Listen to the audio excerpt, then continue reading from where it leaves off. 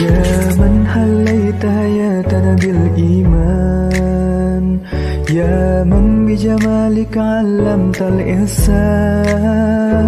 يا من نورت قلوبنا بالقرآن يا حبيبي يا شافعي يا رسول